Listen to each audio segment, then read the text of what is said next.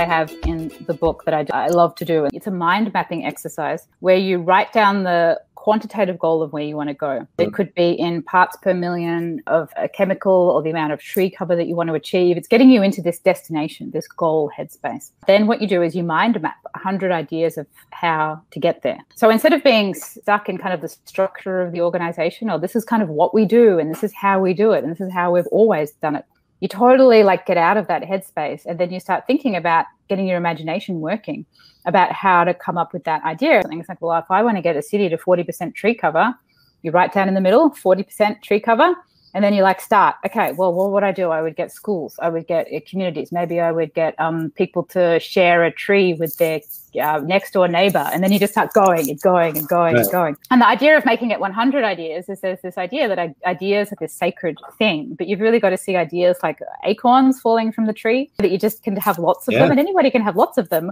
you kind of give them permission to have 100 ideas you normally wouldn't think you would but when you really push yourself you can come up with 100 ideas and you'll find somewhere in there there's some maybe like three things that are really cool that you can do now